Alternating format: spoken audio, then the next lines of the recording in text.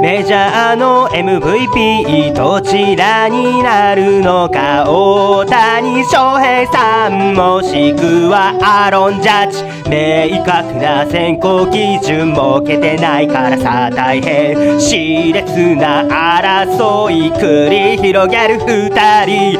まずは大谷さん。去年の MVP 今年も投打で大活躍二刀流投手で2桁勝利打者で2桁本塁打。